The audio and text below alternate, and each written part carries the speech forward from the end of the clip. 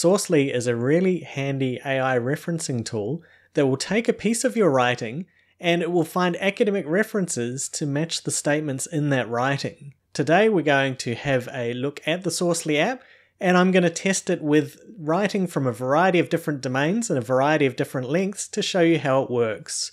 The creators of Sourcely have very kindly given me some discount codes to share with you.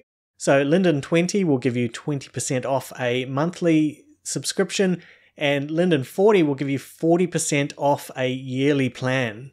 So let's dive in and have a look at Sourcely. So here we are on the Sourcely homepage. Sourcely.net is currently the URL for it. And if we scroll down, we can see they've got an animation with a bit of an example here. We'll jump into the app itself in just a second. But we can see that it'll take a piece of writing, it'll highlight the bits that might need sources, and then it will search for articles. This is really handy in the writing stage, but it's also really handy in the career idea, brainstorming, figuring out quite what you want to write, and even literature searching. They've got access to over 200 million papers, and they've got some good filters for being able to figure out which references and what type of references you're searching for to be able to add to your writing. You can paste in a whole essay or just a paragraph, even just a sentence, and it will do searching for you. You can build all of these into a citations library and you're able to export the references as well. So if we think about some of the other AI research tools that are out there, there's the ones that are literature review helpers that will just go and get a whole lot of articles for you. And then you've got things like ChatGPT that'll help you with the writing. This sits somewhere in the middle there, where it's taking that writing and it's finding the references, it's blending the two together. So here we are in the app and you can see that it is a really nice simple interface. On the left hand side we've got our document history so it will keep track of the different bits of writing that we've put in. In the center here we've got a text box to put in our text we want references for, find sources button once we've got the text in there, and we've got this filters button we can see that we can keep it just to research articles, review articles.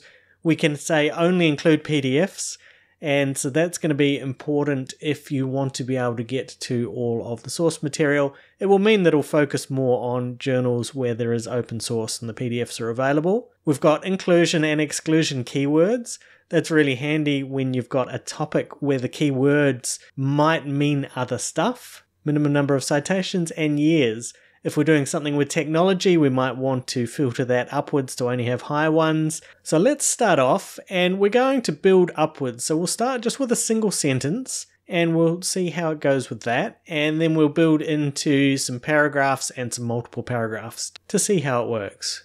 So we added our text. It determined the bit that it wants to find the citation for. So artificial intelligence is transforming medical education. It's got some rules in the back there that are figuring out the statements that are the ones that you are most likely wanting to have a reference for. And then we can see that it's given us a good number of references. And looking at the titles of these, we can see that they are all definitely the types of things we want. This is where we could use the filters and try and zoom in more to a really specific one. But I like that it gives us a lot of options here. Some of the other tools that I've reviewed they only give you four or five articles, whereas here we've got a whole page worth and we are able to then go through. You can see that it's giving us little statements out of those articles. So we can kind of also pick and choose where we want a direct quote or whether we can see one that really nails the statement we're interested in and then pick that one. Underneath each article, we can see that we have a little AI summary button, so we can click on that and get a summary. We've got view source to be able to go to the source, and then save and export if we want to save or export. So if we hit summary, we can see that we get a pop up, and then the AI will tick over just briefly, and it'll give us a paragraph summary of the article. So, in addition to this being handy for adding references to our writing, just as part of our research process, this is also really handy. If we click view source, then it is going to fire us off to the article. So those will all exit out. And we can see with this one, We've got the link there to read the full text or be able to get the PDF. So it has preferenced those. I didn't tick the PDF only, but I think it is still going to preference ones that we're going to be able to access the full text more easily, which is good. It doesn't yet let you select your own sections for referencing. You can get around that by just in a new document adding only that particular bit that you want to find the reference for. Hopefully, though, that is a feature that will be coming in the future. I've found that it is also good for just this very short kind of sentence, actually putting in something like a research question. And that way I can use Sourcely as a literature searching tool. By just giving it the research question, it will hunt for sources related to that research question. And it's then more of a literature searching tool rather than a referencing tool. If we jump to the next one that I've already added in, so this time we've got three sentences, and we can see from my three sentences, it's picked out three statements that it thinks are the ones that we need to reference. We can see here that it lists each of the three. And when we have more than one here, the little arrow here will let us see which ones of our sources apply specifically to that statement and then down below, all relevant sources will have all of the sources that we might be interested in. We can see that it includes the citation counts here. This is really handy for being able to pick out the papers that are already heavily cited. They tend to be ones that are more important in the field. And we can just drop down each of these, go through, save. We've got the link for the PDF there, and be able to get all of our sources. On the all sources list and on each of the separate lists, we do have the option to flick between relevance, year, citations, and title in the way that these are ordered as well. So if I'm interested in most recent, then I can change it over. In this case, it was these 2024 ones anyway. Citations will normally end up being a little bit older because it takes some time to build up the citations, but it's bringing those up to the top instead. And once I've saved some articles, I can click up here into the library and we can see that it has saved uh, into the library. All of the ones that I've clicked save on, I can export these all as a batch as well. Here we've given it something longer again.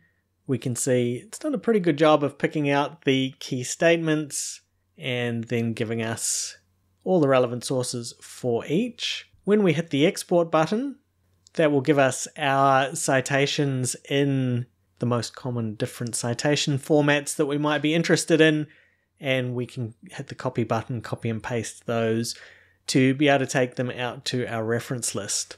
When we hit export in the library, however, that will email it to us instead. Testing another extended piece of writing, and again, we can see it's identified some key statements, split it up, and found us a nice set of articles. Just finally, an example of what I was talking about earlier, where we use a research question rather than a statement. And we can see that this time they haven't got the little citation kind of citable bits box and it hasn't highlighted anything, but it has gone and done a nice literature review for me instead. So it's gone and grabbed articles. We can see creatine supplementation improves strength. We can see all of these bang on in terms of what we're after.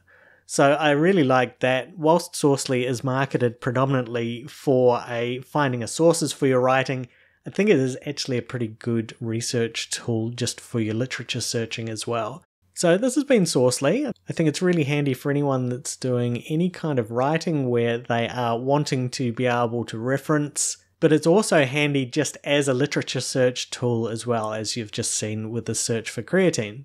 I've got a link to Sourcely down in the video description. And remember, we've got those discount codes Lyndon20 and Lyndon40 for 20% off monthlies and 40% off annual subscriptions. Thanks for watching, and I'll be back really soon with more videos on AI, research, data, and random stuff.